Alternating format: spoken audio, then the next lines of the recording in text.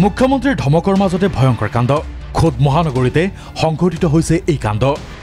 দালালৰ কাণ্ডত সৰ্বশান্ত এগৰাকী মহিলা।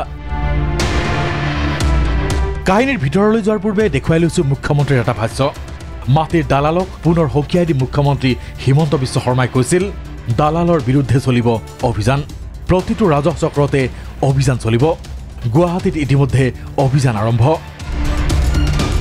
আনৰ মাটি গ্ৰাস কৰা দালালক সাৱধান কৰি মুখ্যমন্ত্ৰীয়ে ক'লে যদি কোনোবাই নিজে বিক্ৰী কৰিছেতো মই একো ক'ব নোৱাৰোঁ কিন্তু যদি ডুপ্লিকেচি হৈছে তাৰ আমি ব্যৱস্থা লৈ আছোঁ গুৱাহাটীত আমি আৰম্ভ কৰিছোঁ আৰু প্ৰত্যেকটো ৰেভিনিউ চাৰ্কুলতে আমি আৰম্ভ কৰিম। যদি ডুপ্লিকেট কাৰোবাৰ নাম ভুৱা কৰি কিবা কৰি কৰিছে তাৰ গোটেই ব্যৱস্থা হ'ব। তাৰ মাজতে গুৱাহাটীত সংঘটিত এক ভয়ংকৰ কাণ্ড। ভূমিকেন্দ্ৰিক এই খেলি মেলিত সৰ্বশান্ত হৈ পৰিছে এগৰাকী মহিলা। মোক সিহঁতে গেৰাণ্টাৰ পাতিছে।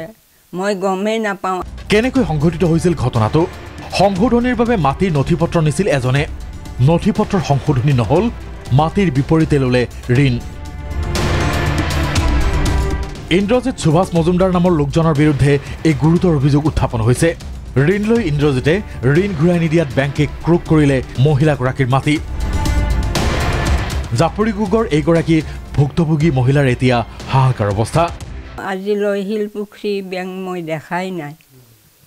সিহঁতে চহী কৰিছে নে কি কৰিছে মইতো চহী কৰা নাই মই বেংক দেখাই নাই। সিহঁতে লোন লৈছে মই গমেই নাপাওঁ। আৰু মোক বেংকে আহি মোক উলিয়াই দিলে আৰু। এই দুই হেজাৰ একৈছ চনৰ মাৰ্চৰ সোতৰ তাৰিখ নেকি সেইটো টাইমতে মোক উলিয়াই দিছে।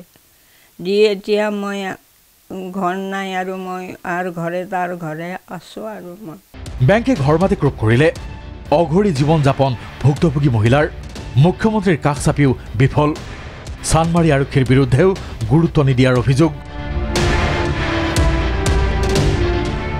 ইফালে ইউকো বেংকৰ শিলপুখুৰী শাখাৰ বিষয়া কৰ্মচাৰী জড়িত থকাৰো অভিযোগ উত্থাপন কৰিছে অসহায় মহিলাগৰাকীয়ে।